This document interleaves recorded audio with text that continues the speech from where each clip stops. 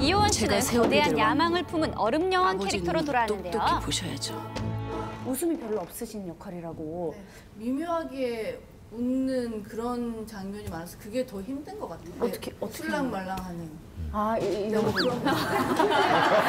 잘하는데 어, 우리 아버지도 재벌이 새로 변신한. 진구 씨, 도망쳤어. 금수저 캐릭터라고 하죠. 재벌 2세의 네. 캐릭터를 맡으셨습니다. 처음엔 되게 좋았어요. 네. 좋은 차, 뭐 좋은 세트, 예, 예. 좋은 옷 입는다고 그래서 좋았는데 네. 확실히 춥더라고요.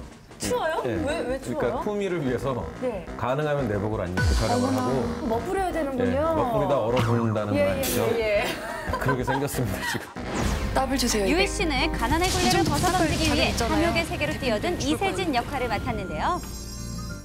갖가지 아르바이트에 도전을 하신다고 들었습니다. 근데 실제로도 아르바이트 경험이 좀 있으세요? 빵집에서도 해봤고 음. 편의점에서도 해봤고 제가 좀 아르바이트 기간이 짧아요. 왜냐면 네네. 빵집이든 편의점이든 끝나면 네. 더 많이 사 먹어가지고 살이 되게 많이 쪘거든요. 아이고야. 네, 그래가지고 월급보다 나가는 게 더 많더라고요. 아, 네, 네. 그래가지고 금방 그만뒀어요.